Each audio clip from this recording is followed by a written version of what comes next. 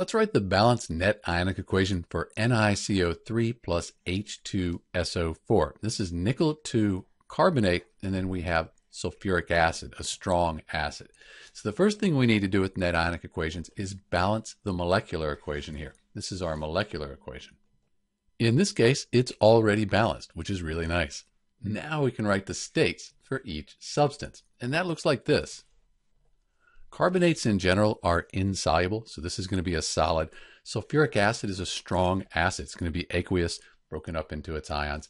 Nickel sulfate, also aqueous in general, sulfates are soluble. And then we have liquid water and carbon dioxide. This may get a little warm. This could be a gas, but let's call it a liquid. It really won't change the net ionic equation. Now we can split the strong electrolytes into ions for the complete ionic equation. That looks like this. So this is the complete ionic equation. And note for solids, we don't split solids apart, we don't split liquids apart, and we don't split gases apart in net ionic equations. So we've kept those together. Now we can cross out spectator ions. They're on both sides of the complete ionic equation.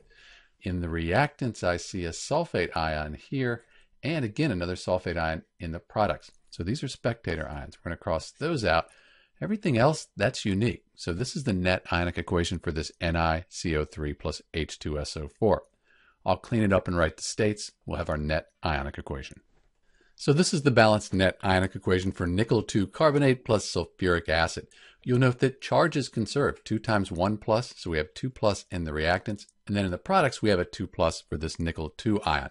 If you count the atoms up, they're balanced as well. This is Dr. B, and thanks for watching.